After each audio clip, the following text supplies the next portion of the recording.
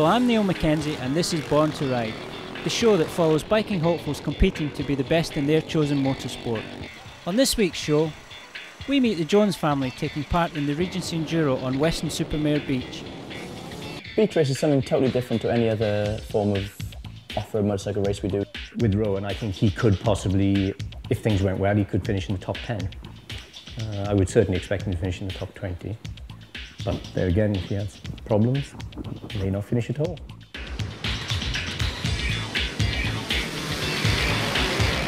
Um, it's a very well-known race throughout the world. You know, a lot of people have heard of the Weston Beach Race. It's just something to get your name on, really, so that you can say to people, you know, I did it. Whether you do two laps or you do 22 laps, whether you finish first or whether you finish last, it's just something that you can say, I've done it, I had a go.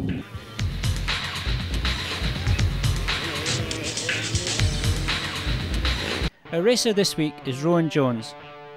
This Welsh enduro racer is a fully qualified ACU national coach at the Yamaha Off-Road Experience led by his father Geraint Jones.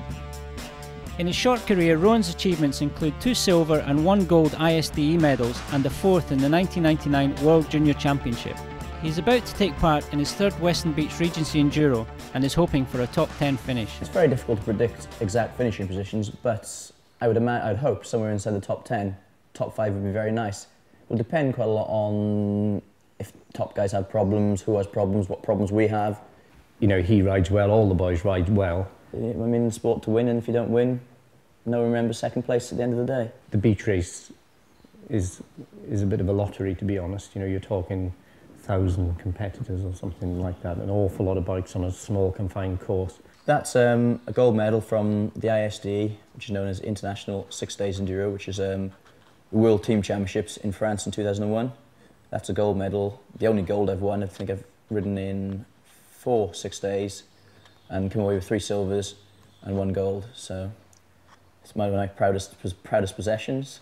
The legendary Regency Enduro race is in its 20th year. It covers a four mile course with jumps created out of sand and has attracted more than 800 riders this year. It includes quads, sidecar, and solo bike races. A separate event for sidecars and quads was introduced in 2000. Up until 1999, they raced alongside the two wheeled machines. With some dunes up to 30 foot high, the course has been designed to provide the toughest test ever. Riders require stamina, determination, and a reliable bike that can last the pace for three grueling hours. On the Sunday, we'll have just over 800 entrants. All start at 12 o'clock, when mass start. As many laps as you can do in three hours. If you can survive, if the bike survives, it's just survival of the fittest, realistically. Beach race is something totally different to any other form of off-road motorcycle race we do during the year, really. It's a little bit of a cross between motocross, which is circuit racing, which round and round a, a small man-made circuit, which may be two minutes in length, and enduro, which is a much longer form of um, off-road motorcycling where you're doing, covering large distances. Rowan Jones lives with his family in mid Wales. He's a coach at the Yamaha Off-Road Experience, which is based on the farm where they live. Rowan's father Geraint is one of the most respected figures within Enduro. He has been 10 times British Enduro champion and 8 times International 6 Days Enduro gold medalist. Geraint has been a big influence in Rowan's choice of career. I came into the sport because due to my father's interest in um, off-road motorcycling. He was 10 times British Enduro champion between 1979 and 1990-ish, something like that, quite a long period. I had a bike just to play around the farm at home here when I was about six, yeah, six I think. But I never really wasn't encouraged and never raced until I was 16. Primarily because one, dad was racing week in week out, so I didn't have the time, and secondly, it was I thought it was very important not to push me into it. It was my decision, and I just rode for fun around the farm, having a lot of fun and playing, but never had the seriousness and the, the stress of having to race. You have enough of that when you come to racing at a high level later years. I've got to be honest and say that I've never pushed them. It's entirely up to them. You know, they do what they want to do, and if they decided tomorrow they don't want to race anymore, it wouldn't particularly bother me. But if they want to ride, I, you know, I will help them. I suppose with following my father, it's um, a lot, lot to live up to really, and everybody you, you turn to be known a little bit as Geraint Jones's son, not in your, in your own right. And you maybe feel like you should go and try another sport, so you, you, you're there in your own right, maybe. Rowan is getting his bike ready for the beach race. Right at the moment, I'm splitting the chain. I'm taking the chain, breaking the chain to take the chain off. This chain's done sort of um, oh, six days work at the ISD in Czech Republic now, a fortnight ago, three weeks ago. so it needs replacing anyway. Take the chain off, um, replace both front and back sprockets with new sprockets, plus possibly a different size back sprocket, a different number of teeth on for the, as I was talking about before, the gearing and things. Always when at the beach race you should be using what we call an O-ring chain, which is a more durable chain, and again, this is an al- aluminium or an alloy back sprocket. We'll put steel on because what would happen is it would wear totally and these teeth would start snapping off. That's something as severe as the beach race with all the sand and the water about. It's very, very abrasive. So I'm changing the, the rear sprocket for a steel item and possibly for one with a different number of teeth on to change the, the gearing for the top speed on straight, that sort of thing. For this race, my brother's been very good. And sometimes I've got the lads can help, but um, local lads are a little bit interested in motorcycling. But it's very difficult to justify to afford to pay a mechanic. Sometimes when we're very, very busy, we have to sort of wind us a little bit. But with this race, my brother being injured, he's been very good. He's been um, doing quite a lot of the work on the bike, which means you've got more time to do other stuff, preparation, training, that sort of thing. What is it about enduro racing? With enduros, we're quite lucky. You get out and you see the countryside. It's and just get away from the stresses and strains of work and everyday sort of hassles which you have in life, and you forget it all. And it's exhilarating. There's a lot of speed involved. Keeps you fit and healthy because it's it's a physical sport. And for me, it's given me the opportunity to sort of see a lot of the world which I wouldn't have had otherwise. The is something special. It's just it's it's very it's, manic. It's it's it's very mad. Um, it's almost dangerous. You think, well, maybe should you be there because there's a very good chance of getting hurt, but it has that sort of buzz and it's that sort of atmosphere which makes you want to be there and makes you go back year after year. Some years you think, well, after last year, I thought, well, am I bother, going to bother going back again? But here we are, we're back again this year. Rowan's cousins are also taking part in the Regency Enduro. There seems to be some family rivalry between the lads. We're always competing and one wants to beat the other and it's comparing times, comparing positions and having little wages like we've all got a bit because this is a special one off at the end of the year. We've all got a little bit of a wager going on here, winner takes it all. So it's it's, um, it's good, pushes you on, gives you gives something to train with, something to practice with, gives a lot of wash it, but very very good.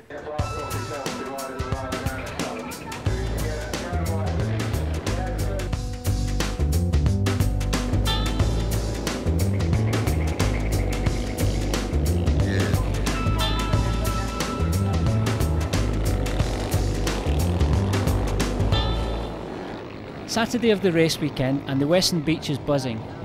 The quad and sidecar races are underway. Rowan and his cousin Edward are wandering around the paddock and checking out the track.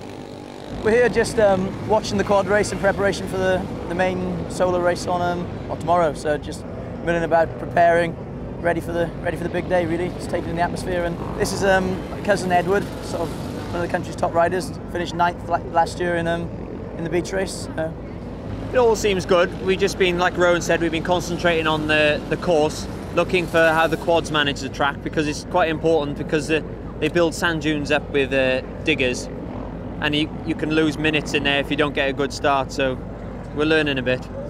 The Regency Enduro is not only about the riders, the spectators help make it the Enduro event of the year. Weston Beach Race realistically is a big party, end of year party where you can come, if you race every week, you can come and have a blast. If you just want to do a one-off event, this is what everybody wants to do. It's just end of October, big party in the town, big race on the Sunday. We've come down to watch all the races and all that, the quads, the bikes. Uh, we live in Clevedon, we don't live far, so it's just just a nice trip down. They're a bit crazy, but you know, you got to do these things to have a bit of life, you know, go for it. Great, it's my first time. Um, I think it's smashing, and, and, I'm amazed at all the different ages, um, from little tots and I, I, love to see the kids on the bikes and the parents encouraging that sort of thing and doing something with them. The task of transforming Weston Beach for the race is the responsibility of Phil Roberts. I'm in charge of the construction of the course and the deconstruction of the course. It um, takes us a period of four to five days from the start to the finish and three days to clear up after the event like you know that includes like stripping the fences down cleaning the fences off levelling the sand back to the levels that we started with originally like. Around 40 sand obstacles are constructed along the winding four mile course. This requires taking a lot of machinery to the Weston beach to get the job done in a short time scale. Several thousands of tons of sand have to be moved around the beach, not once but twice for the two races. The course on the solo race must be identical to the quad and sidecar race. We just scrape it up off the beach because throughout the summer months the sand comes in from the sea and it builds up and builds up and we just use the surplus sand that's come in. Well, on the deconstruction of the, of the course, we transport the sand from this end of the beach to the other end of the beach, which is washed away throughout the, the summer season and winter season as well. Like. Sunday morning at Weston Beach, and all is not quiet on the front.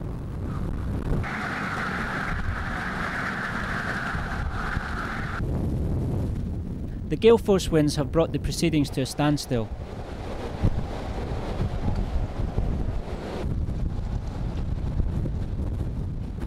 The emergency services and organisers decided it would be too risky to let the race go ahead.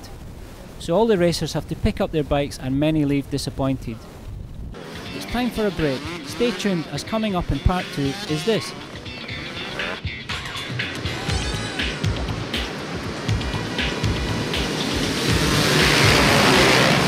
Very difficult to tell uh, what positions they're in at the moment because everyone's mixed up. They're on different laps but I think most of the boys are running in the top 100 at the moment.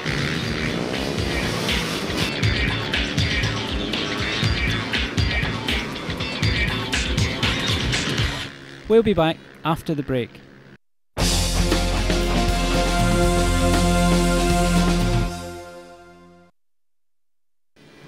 Welcome back to Born to Ride with me, Niall Mackenzie. This week we're in Weston-super-Mare for the annual Regency Enduro. Saturday's quad and sidecar race took place unhindered, but Sunday's Regency Solo Enduro was a casualty of the windy weather and had to be cancelled, leaving more than 900 riders and 30,000 plus spectators disappointed. However, the organisers are now rerunning the event the week after. For the last 20 years, the Motorbike Beach Race, one of the biggest biking events in the UK calendar, has attracted bikers and motorcycle enthusiasts en masse to the seaside. Entrants travel from all over the world to take part and try out the endurance course, Rowan Jones is entering the solo event of the Regency Enduro. His family is helping out in the pits. Right, we have um, here on the phone my younger brother who's usually riding as part of the team, probably chief in the pits today, out with a broken shoulder. Um, then Robert who's riding with the body out there.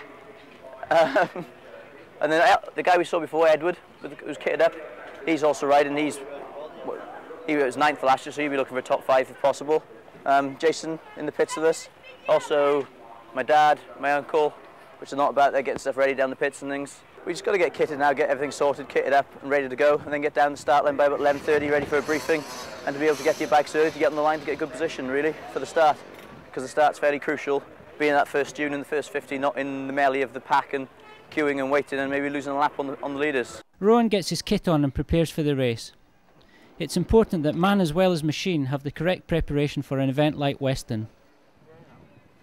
If you ask anyone what they love about the beach race, the overwhelming answer will be the start. Best bit of the race is the start.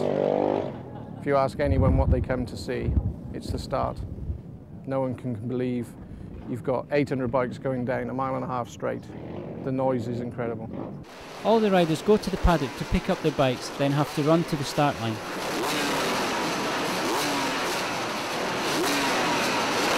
Eight hundred riders line up along the beach.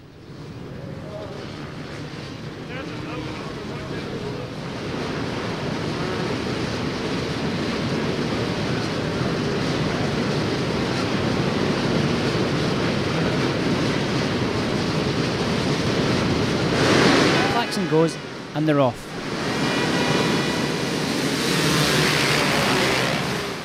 For the serious riders, a good start is important. You need to get to the first corner as quickly as possible so as to avoid the pile-up. The start is very, very important. If you get a good start and you can get down to the first dune in the first 10 or maybe first 20, you stand a much better chance than if you get a bad start and you're down there and there's three, 400 riders in front of you try and get out the start and get to the top, to the first corner within the first 50, hopefully. Problem is on something like a 254 stroke, it's very, it's a small underpowered bike, really.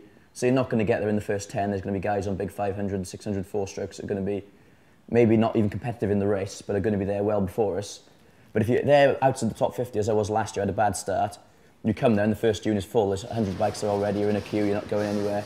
By the time you get over that dune, if you haven't damaged your bike, the guys that have got the start and got over the first dunes are coming back around to lap you within in a lap. So you're sort of disadvantage straight away. Rowan's pit crew are keeping an eye on his progress. They need to make sure he's got enough fuel and let him know when to come in for his first pit stop. Pitting probably on every hour due, due to sort of the, the size of the amount of fuel we're carrying on, 8 litre tank. Um, clean gloves, clean goggles, quick drink. As we come in, they'll have a pressure washer ready to wash the radiators out because of um, problems with overheating, sand getting in around the rad fins and things. Dylan puts the board out to signal to Rowan that he should come in for fuel next. It's very difficult to tell uh, what positions they're in at the moment because everyone's mixed up. They're on different laps. But I think most of the boys are running in the top 100 at the moment, so someone here.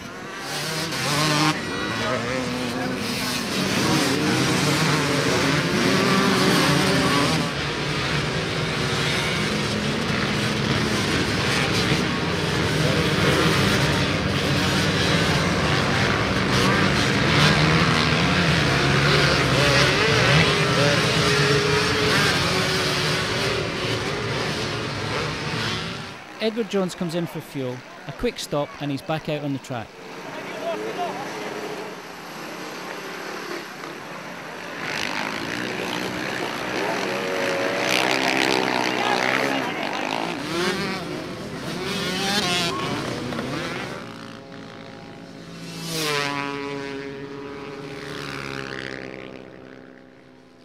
The race continues, and as time goes by, more riders get stuck in the sand ruts.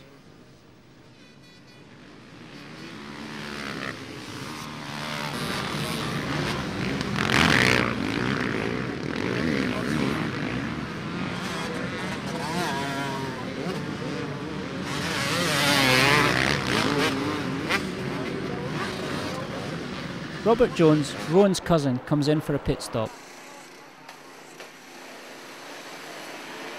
Ron will be in now within sort of 10 minutes, quarter of an hour. He's, he's running top 12 now, so he's pulling up all the time. So we should have him in with about two hours gone, and when then he will, that'll be his last stop. He'll go right to the finish then. He had a poor start. He was probably only just inside the top 200 off the start. But since then, he's been circulating quite good and putting in some good lap times. And now he's, he's running 12. Another of the Jones clan comes in for refueling.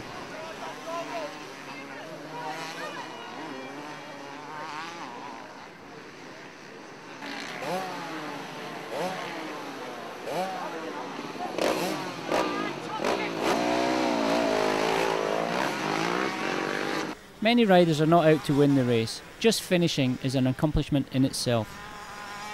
Just do it, it's great fun. Not even just to be a winner, just to take part, it's superb. Well, I came up last year and saw it, and then decided to have a go this year. You know, I like riding off road, and I thought, well, it's different, so I'll have a go. The winner will do in excess of 22, 23 laps, but the average lap is probably 12 to 15.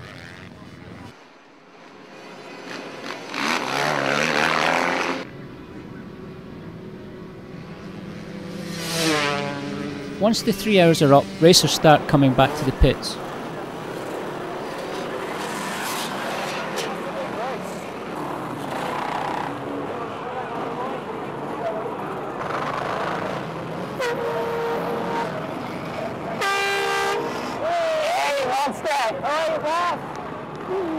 What's he like out there now? Pretty rugged? Oh, rutted. Yeah. Really rutted in places. You've got to weave in and out the crowd and bikes stuck everywhere. Really good fun. Rowan finishes the race and is quick to get out of his sandy gear. Hey, Buzz! I passed you on the first corner, and then some bloke hit me. Did you see me go down? Some bloke wasn't going to stop. Straight at the inside, T-Bone, we're going to be in the fence. No front brake all race. Broke the hose first lap.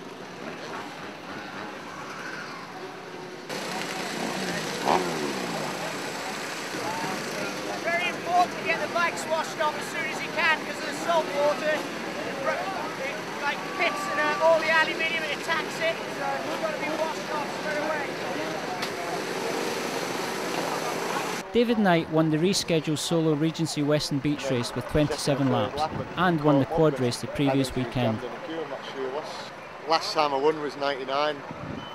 I've been winning every year since and then had a mechanical problem and been out of the race so it's quite a bit of a lottery down here just to you know, finish. So had the back brake go end of the first lap, so second lap that went completely. So I thought, not again, it's going to be non-finish again. But I just cracked on, and I thought because I won the quad race last weekend down here, um, I just I thought I'm not giving up now. I just keep going to the end, and after about an hour and a half, the track was real rough. So it was a lot easier with no brakes. Then you use the corners, the ruts to slow down. So really happy. Rowan reflects on the day's events.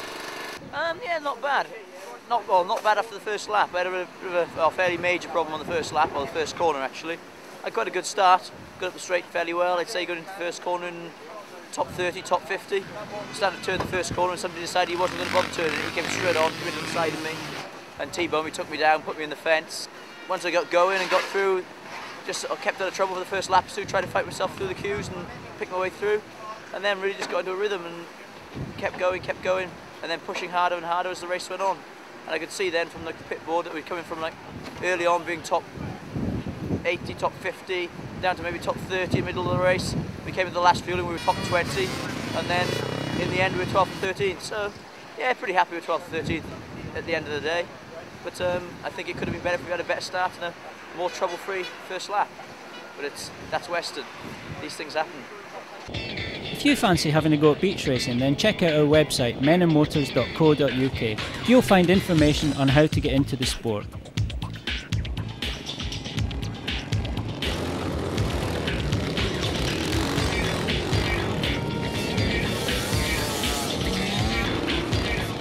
Thanks for joining me, Niall Mackenzie, on Born to Ride, the ultimate guide to the world of motorcycle sport.